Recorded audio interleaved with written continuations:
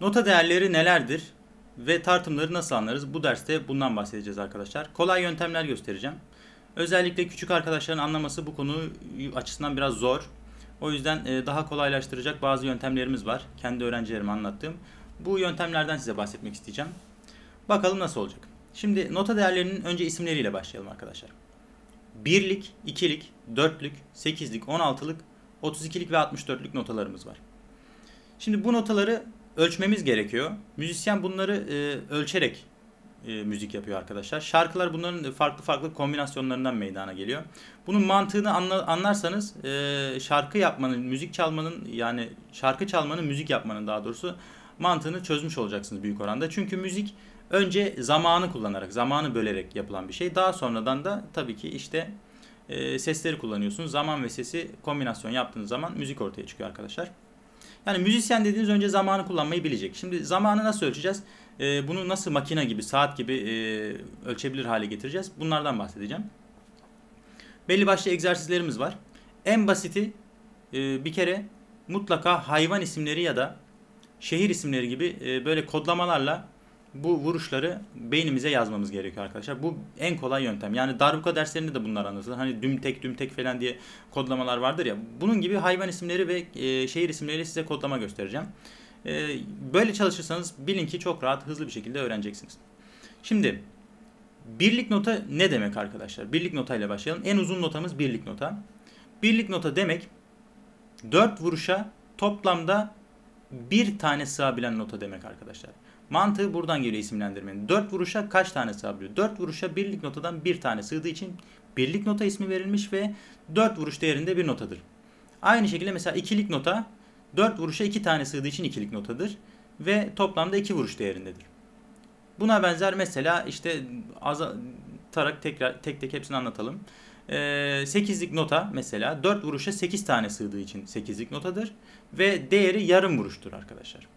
16'lık nota 4 vuruşa 16 tane sar ve çeyrek vuruştur. 32'lik çeyreğin de yarısıdır. 64 e, çeyreğin yarısının da yarısıdır. Çeyreğin çeyreğidir yani. Ve 4 vuruşa toplamda 64 tane sığabildiği için 64'lük nota ismi almaktadır. Olay mantığı bu. E, burada bir kavram karmaşası oluyor. Vuruş sayılarıyla isimler e, ters orantılı gittiği için genelde karıştırılıyor. İsimlerin mantığı nereden geliyor diye merak edenler bu şekilde öğrenmiş oluyorlar arkadaşlar. E, bu anlattığım şeyi unutmayın. Bakın 4 vuruşa kaç tane sığıyorsa o nota değerinden e, nota değerinin ismi ona göre verilir arkadaşlar.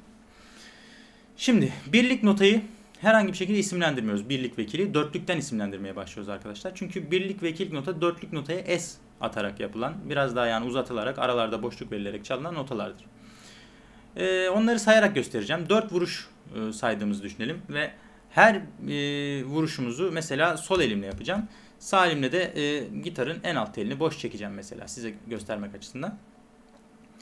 Birlik notada mesela 4 kez vurup sadece birinci vuruş 4 e, şey birinci vuruşumuzla notamız başladığı zaman 4 vuruş boyunca sadece bir, bir nota tınlaması duyulması lazım arkadaşlar. Şöyle örnek hiç konuşmayalım gösterelim.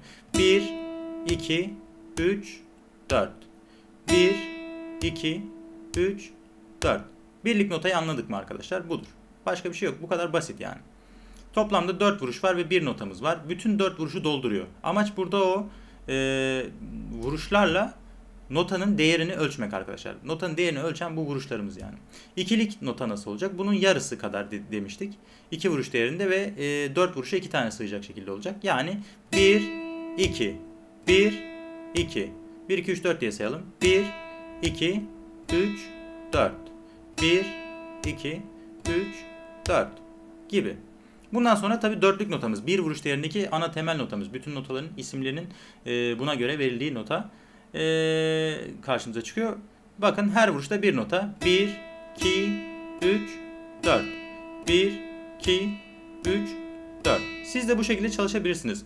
Sol elinizi dizinize vuruyorsunuz. Sağ elinizle notaya vuruyorsunuz. Hem sayıyorsunuz hem çalıyorsunuz arkadaşlar. Yani gerçekten geliştirecek bir yöntemdir. En pratik yöntemlerden bir tanesi. Şimdi bu isimlendirme ve kodlama yöntemine bir geçelim. E, dörtlük notada yani bir vuruşluk e, dörtlük notamızda isim olarak hayvan isimlerinden fil, şehir isimlerinden ise van diyoruz arkadaşlar. Bakın 5 tane isim kullanacağız. Hayvan isimlerinde nota e, değerlerinin isimleri şunlar. Birincisi fil, 2 kartal, 3 bıldırcın, 4 e, alabalık, 5 balina. Şehir isimlerinde ise bunların yerine alan kelimeler Van, e, Kartal yine Kartal, İstanbul semti Kartal. Yani e, biraz daha kolay olsun diye işimiz zorlaşmıyor bu sayede. İstanbul, Gelibolu ve Adana kelimelerini kullanacağız arkadaşlar. Bakalım nasıl olacak. Ayrıntılı göstereyim hemen. Şimdi hayvan isimleriyle söyleyecek olursak dörtlük vuruşa fil diyoruz. Bakın. Fil, fil. L harfinde tutmaya dikkat gösterin. Böylece notanın ölçüsünü ölçmüş olacaksınız. Tam olarak ölçmüş oluyorsunuz arkadaşlar. Fil deyip kesmeyin yani. Fil, fil, fil, fil. Hatta gitardan sesi çıkan sesi de veriyorum. Mi notasını bakın. Fil, fil, fil, fil. Bu sayede ölçmüş oluyorum. Ve hatta van diyoruz. Van, van, van, van. Bunun yarısı olan notamız 8'lik nota. 8'lik notada ne yapacağız? Tabii ki şöyle yapıyoruz arkadaşlar. Bir vuruş vururken yarım vuruş değerinde olduğu için notamız iki tane nota çalıyoruz arkadaşlar. Şu. Akılda tutacağımız kelime ise kartal kelimesi olacak. Her ikisinde de şehirde ve hayvanda. Şu kartal, kartal, kartal, kartal. Kartal, kartal, kartal, kartal. Notasını verebilirsiniz. Direkt bona şeklinde söyleyebilirsiniz. Sadece hani notası söyleyebilirsiniz. Size kalmış arkadaşlar. Şimdi kartalı da yaptıktan sonra 8'likten sonra 16'lığa geçiyoruz arkadaşlar. 16'lık notamız e, hayvan isminde alabalık, şehir isminde Gelibolu. Bakın alabalık, alabalık, alabalık, alabalık, Gelibolu, Gelibolu, Gelibolu, Gelibolu. Bir vuruşa 4 tane sığdırıyoruz. Parmaklarımızı sıralı kullanıyoruz gitarda. Bunu unutmayalım. 1 2 1 2 bu sayede zaman kaybı yaşamayacaksınız arkadaşlar. Ritim bozukluğu olmayacaktır yani.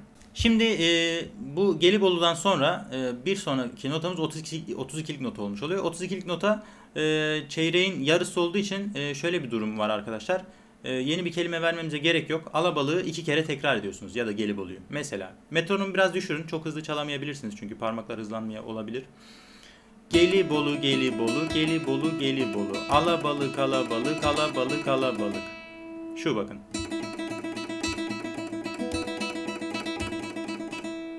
Bu şekilde ilerlemesi lazım. Bir vuruşa 8 vuruş sığdırıyoruz arkadaşlar.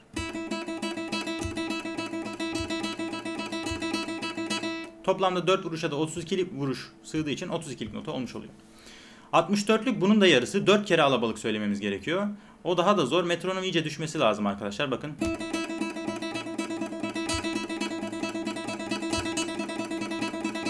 Yani benim en hızlı çalabildiğim e, bu neredeyse. Çok fazla hızlanabilen bir gitarist değilim arkadaşlar. Eğer rock gitarist filansanız daha hızlı tempolarda çalışabilirsiniz yani. E, başta başladığımız tempolarda çalışabilirsiniz. Bakın hız iyice düştü şu anda. Çünkü daha hızlı kontrol edemiyorum parmaklarımı ben.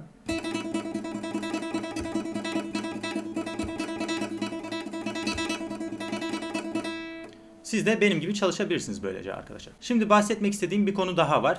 Triplet konusu arkadaşlar. Triplet üçleme demek. 8'lik, 16'lık ve 32, 32'lik notaları e, triplette yapabiliyoruz. Yani üçleme yapabiliyoruz. Bir vuruşu 2'ye 2'ye bölerek hep ilerledik şu ana kadar. E, 2'ye bölmek yerine 3'e de bölerek ilerleyebiliyoruz arkadaşlar. O da şu oluyor. 3'e, 6'ya ve 12'ye bölme şeklinde 3 tane e, sistem göstereceğim. 3'e bölme e, 8'lik triplet oluyor arkadaşlar.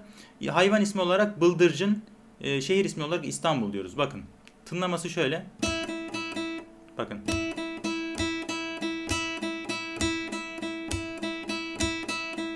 Yani e, hızlı bir metronom seçtim. Biraz daha yavaş seçelim.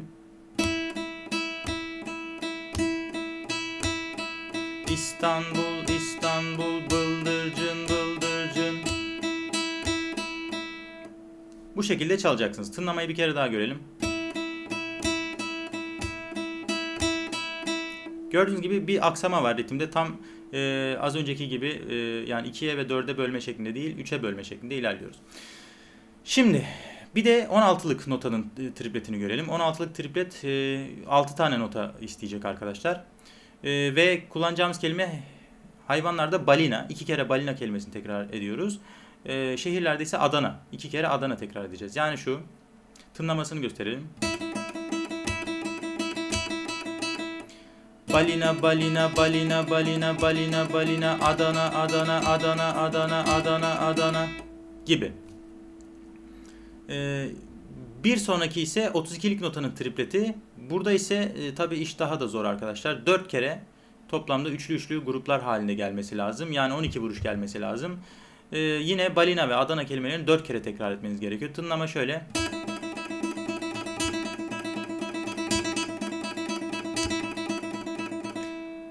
Adana, Adana, Adana, Adana, Adana, Adana, Adana, Adana, balina, balina, balina, balina, balina, balina, balina, balina gibi.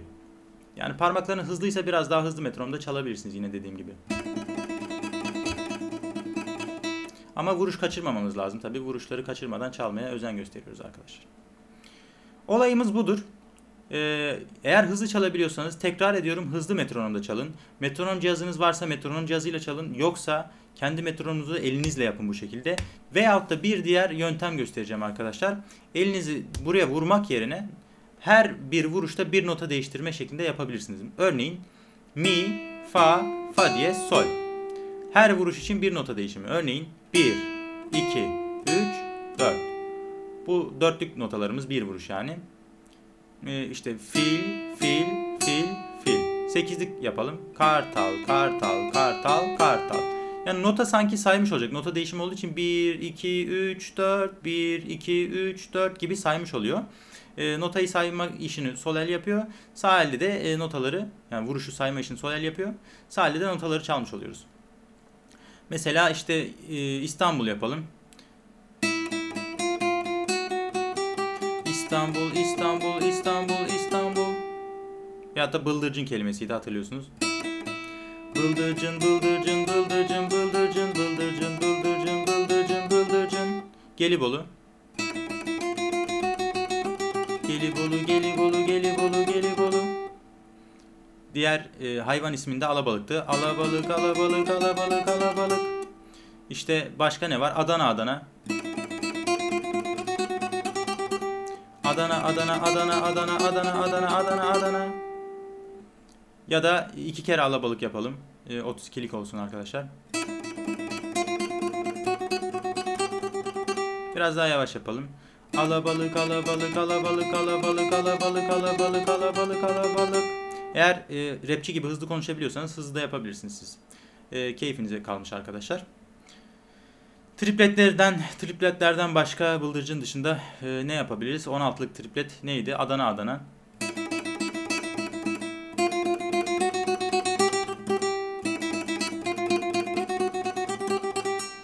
Adana, Adana, Adana, Adana, Adana, Adana, Adana, Adana.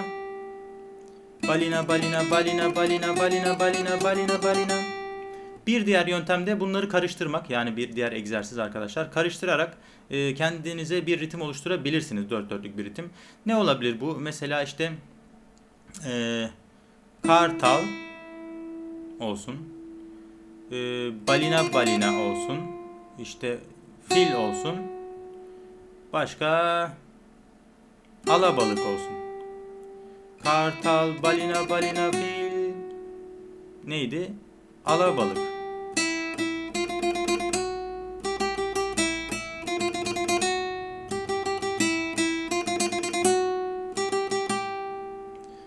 Evet buna benzer siz de kombinasyonlar üretebilirsiniz arkadaşlar. Bu yazdığı söylediklerimi e, kağıda dökün, not alın. Böylece aklınıza daha iyi kalacaktır. E, size tavsiyem bu noktada bu olur arkadaşlar. Kendi öğrencilerime de bu şekilde not aldırtıyorum ya da ben yazıyorum, notu veriyorum özel öğrencilerime. WhatsApp veya Skype üzerinden özel ders almak istiyorsanız numaram videonun altında olacak. Diğer e, videoların altlarında da var zaten kanalda bulabilirsiniz. Oralardan bana ulaşıp e, canlı olarak birebir e, sizi tamamen elinizi kontrol edecek şekilde, size yardımcı olacak şekilde e, özel dersler veriyorum arkadaşlar. E, Saatlik ücreti şu anda 50 TL şeklinde. İleride değişebilir. E, duruma göre hareket edeceğiz. Hepinize şimdiden kolay gelsin. İyi çalışmalar diliyorum. E, başka bir sonraki dersimizde yine görüşmek üzere. Hepinize hoşçakalın diyorum. Kendinize iyi bakınız arkadaşlar.